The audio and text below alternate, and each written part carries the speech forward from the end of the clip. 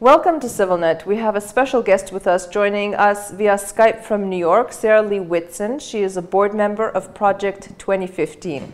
Sarah, thank you for joining us. Thank you for having me. Uh, you know, we are now heading into uh, 2015, the 100th anniversary, the centennial of the Armenian genocide. There are many, many initiatives, events, commemorations, um, conferences being planned around the 100th anniversary of the genocide.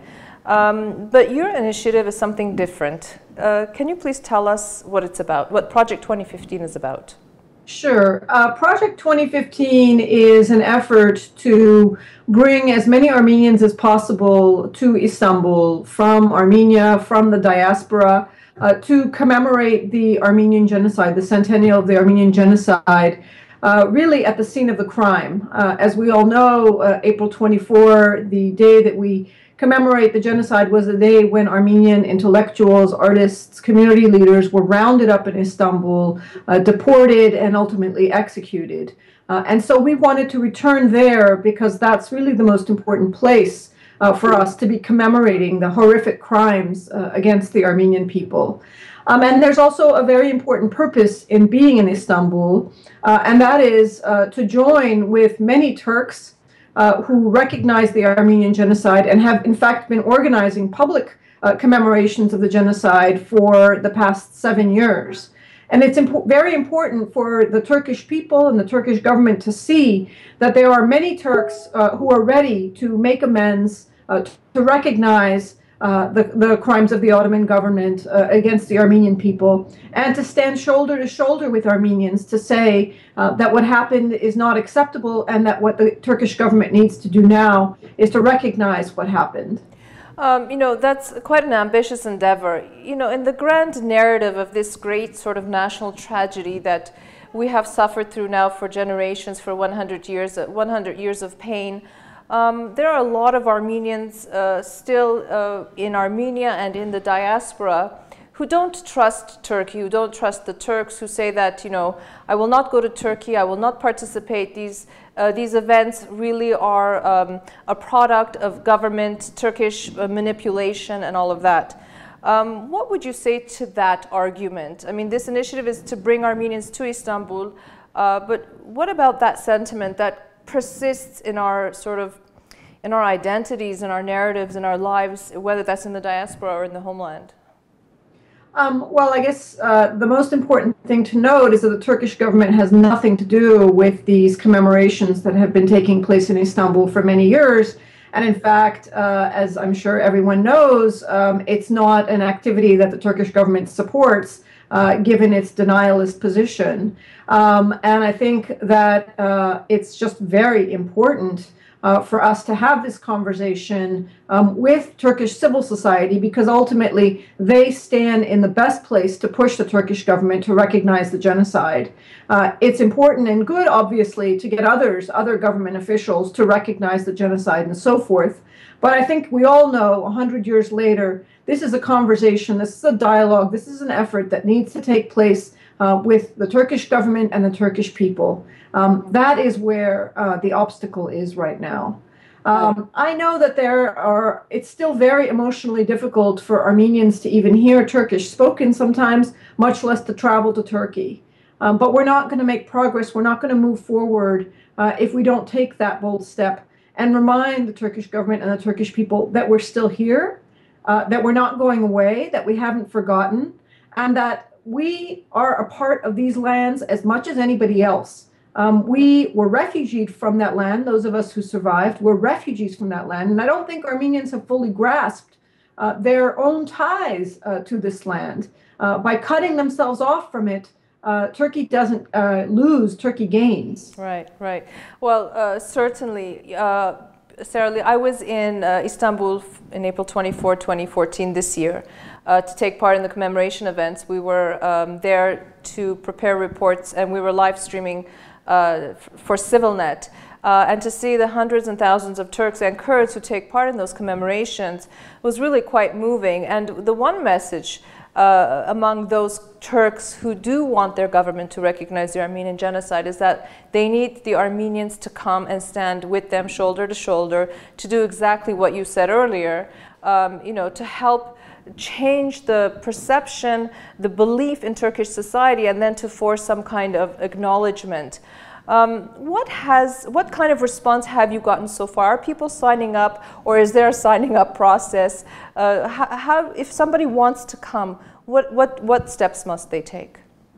Um, well, really, uh, the only step they need to take is to uh, buy their plane ticket or bus ticket or or, or uh, uh a boat ticket, however it is uh, they want to come, wherever they are, uh, and show up in Istanbul on our website, which is ArmenianProject2015.org.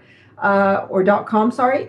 you'll see a description of the events that we're organizing, which includes a conference, an academic conference on April 22, uh, a musical concert on April 23, and the public commemoration events on April 24. Um, we have a list of recommended hotels, uh, and obviously, we will be providing more information as the time comes. Uh, those who wish to do so can indicate that they want to join uh, by uh, sending us a note on our website. Uh, we do plan to keep a list of those who are planning to come, although I know many, many people who are coming have not signed up on the website, so they're not uh, mutually exclusive things. Um, uh, we really do hope to see a good number of Armenians there uh, because you know uh, it's it's our centennial, uh, and we want to commemorate this on the ground in Istanbul because if we want the world to know that hundred years later we have not forgotten and we will persist in our efforts, then I think the most important and dramatic place we can do that from is from Istanbul.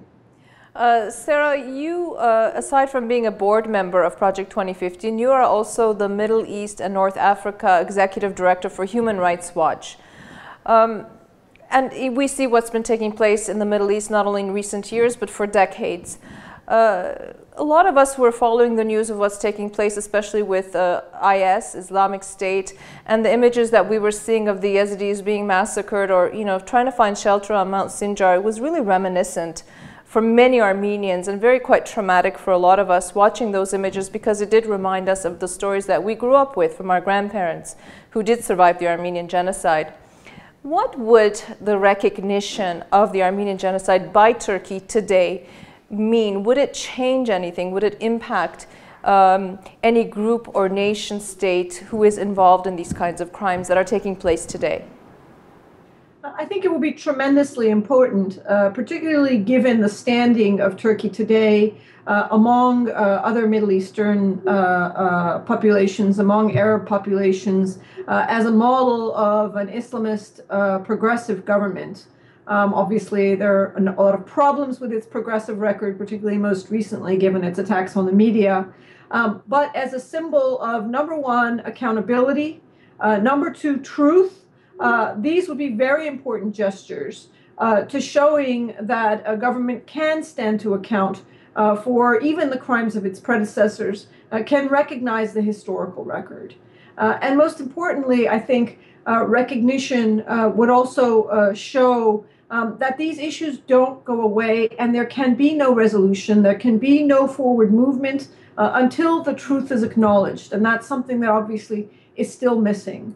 Um, it's uh, finally a very important effort uh, at demonstrating respect, uh, tolerance, and appreciation for minority communities uh, in the midst of the Middle East, uh, in the midst of the Near East, uh, in the midst of the former Ottoman lands, where really, for, for now well over 100 years, uh, Deir Zor have been killing fields.